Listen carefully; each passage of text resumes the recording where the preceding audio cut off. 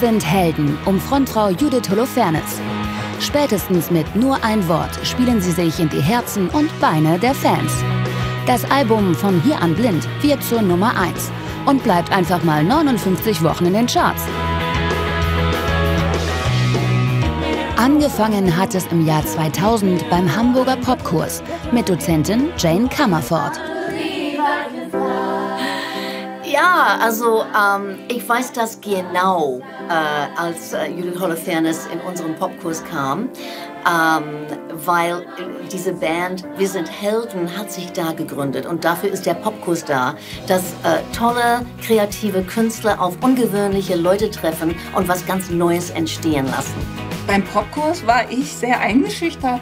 Nicht von ihr als Person, weil sie ist wahnsinnig nett, aber einfach, weil sie so unglaublich singen kann und ich eben nicht so selbstbewusst war, als ich da aufgekreuzt bin. Und ähm, ich glaube, ich habe den Gesangsunterricht bei Jane, das war immer so Gruppenunterricht, und ich habe den hauptsächlich damit verbracht, zu versuchen, mich wegzuducken und nicht dran zu kommen. Aber ich erinnere mich, dass wir einen Gang entlang gegangen sind in dieser in so einem, so einem, so einem Hochsch Hochschulsetting mhm. und ich dann dich gefragt habe, und was, was machst du so? Und du meintest, ja, ich habe mal so in so einer, in so einer Bluesband, habe ich so Backings gesungen auch. Und ich dachte noch so, ah ja. Ich dachte, das wären die professionellsten Credits, die ich cool. so habe. Ja. ja. Das war ein sehr starker erster Eindruck. Aus dem die große Liebe und eine Ehe wird. Zunächst dabei gründen sie Wir sind Helden und werden zum gefeierten Live-Act.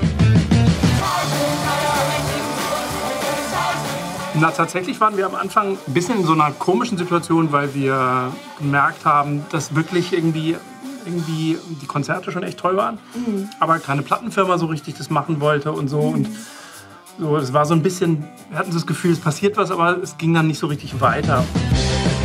Weil keine Plattenfirma will, machen sie ihre erste Platte selbst. Von der Aufnahme über den Vertrieb bis hin zum Merchandising. Mit selbstbemalten T-Shirts und eigenem Musikvideo. Die Leute bei MTV kannten den Song, haben das Video gesehen und haben gesagt, es ist so äh, ungewöhnlich, dass wir, das, dass wir das gerne spielen wollen. In dem Video gibt es eine Sequenz, wo dann, wo dann Judith so dasteht und Dane dann denkt so, ja, und dann ich so zu Harald Schmidt. Und also wenn sie sich quasi ihren Erfolg vorstellt und ich so zu Harald Schmidt und dann Harald Schmidt so zu mir. Und er hat das irgendwie gesehen, dieses Video.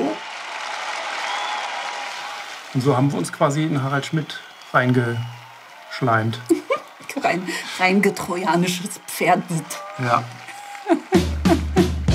In der Folge klappt es auch mit dem Plattenvertrag.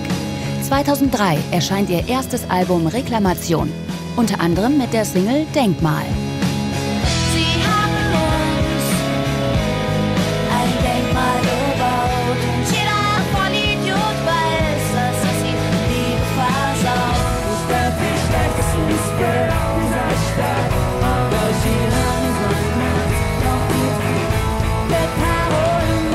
Was ich hier besonders finde, ist ihre Stimme.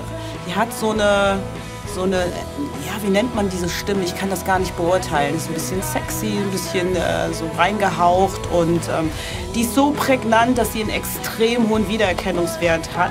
Zumindest zu dem Zeitpunkt damals. Und die Musik ist gut. Ich glaube, es ist halt einfach echt gewesen. So. Die haben halt einfach Gas gegeben und die haben sich ihre Fans erspielt. Und als ich auch beim Konzert war, ja, so stellt man sich halt eine, eine, eine Rockband vor. Mit Parolen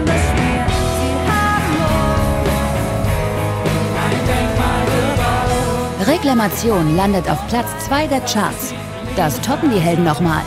2005 mit dem zweiten Album und natürlich mit der Single Nur ein Wort.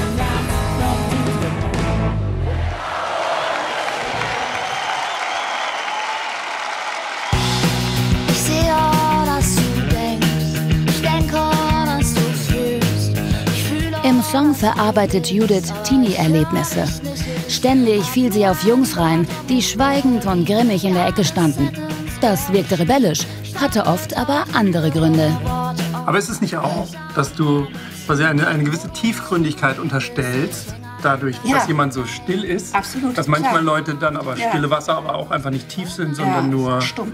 quasi stehende Gewässer? Ja, genau.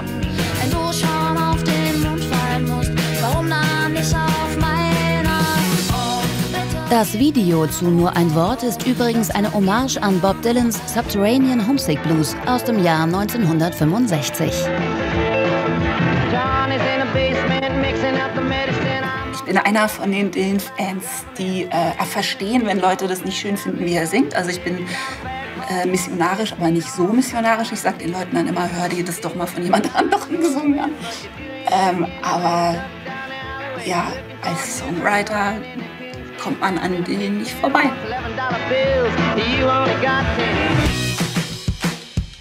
Der Erfolg von Wir sind Helden ist anhaltend groß.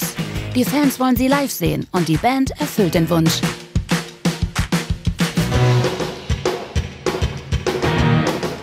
Später wurde das dann schwierig. Also dann haben wir die Schnapsidee gehabt, ähm, uns zusammenzutun und dann später sogar zu heiraten und Kinder zu bekommen. Das heißt, ähm, wir waren dann fünf Jahre lang mit Kleinkindern auf Tour und dazu noch diese verschiedenen Städte. Und das wurde schon echt ganz schön ähm, sportiv. Und irgendwann ist sportiv dann gekippt in nicht machbar. So. Jo. Ja, kennen wir, aber Angelo hat fünf Kinder und der geht auf Tour mit seiner Familie. Ich habe vier Kinder und ähm, Angelo, können zusammen Kelly Family machen. Wie? Was meinst du? Da habe ich vier, du hast fünf, dann sind wir neun. Jetzt können wir es einfach die neue Kelly Family nennen. Wir Die, früher die, neun auch. die Joey Angelo Kelly Family. ähm, Hört sich nicht so gut an. Family, Joey Kelly and Angelo.